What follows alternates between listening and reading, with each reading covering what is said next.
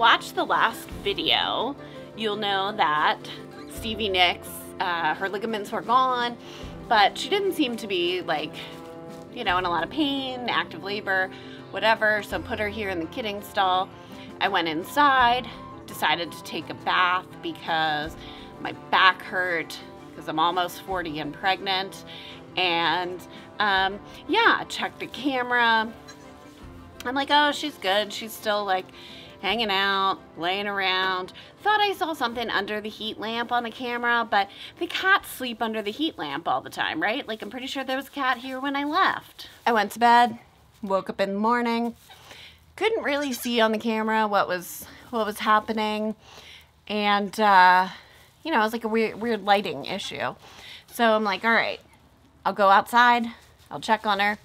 Well, sure enough, on the ground were these two totally dry little babies. They were up and moving around. They had obviously been nursing uh, based on her udder. And uh, it looked like nothing even happened in the stall. Like she cleaned up the stall perfectly. I don't know if they were born Sunday, Monday, what it was, but they were totally fine. She did a great job. I don't love missing a birth because you just never know what could happen. But fortunately, all was good in this case. Babies are somewhere around five, six days old. Um, and uh, it's nice out today, so let's take them out in the sun.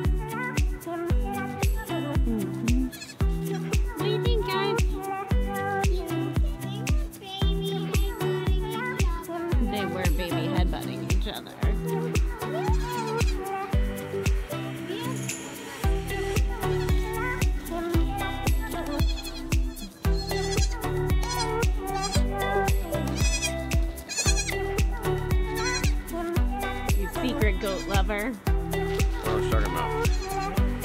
I don't love goats. I don't love goats.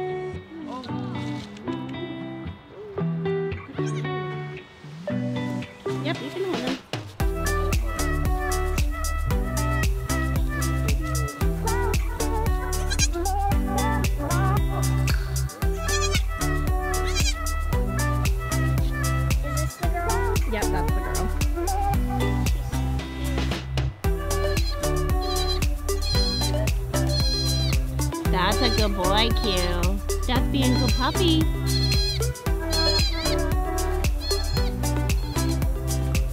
That's being a good puppy.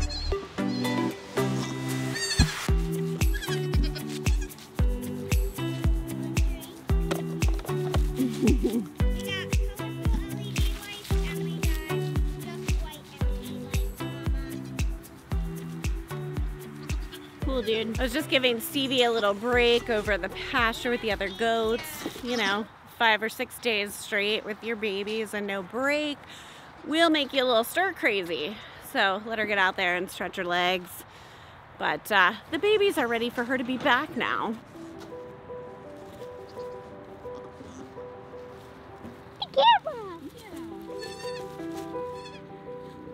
Look at it for on the windowsill in the kidding stall.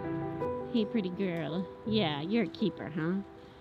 You're a keeper. You're very calm. I want to take her when I grow up. We generally let our dams raise the kids unless there's something wrong that they can't. Um, and people often ask how you get friendly kids if you don't bottle feed them. This is the answer. You hold them, you play with them, you touch their feet, touch their head, get them used to you.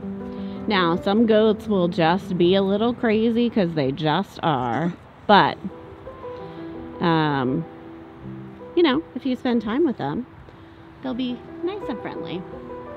And do you have blue eyes, huh? So, if she's got blue eyes, wait, does he have blue eyes too?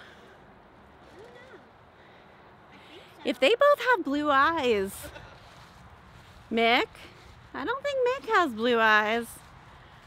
Oh, I think we have a paternity scandal. Mick? Nope. Uh-oh. Don't eat the Christmas lights. Mick, You are not the father. Sounds like the father to these kids is actually Don Henley, not Mick, because they both have blue eyes.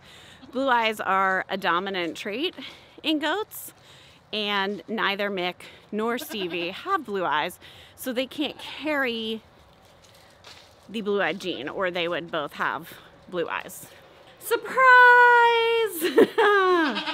That's actually not bad news because Cher, the doeling that I kept from Honey Rider, uh, Mick's her sire.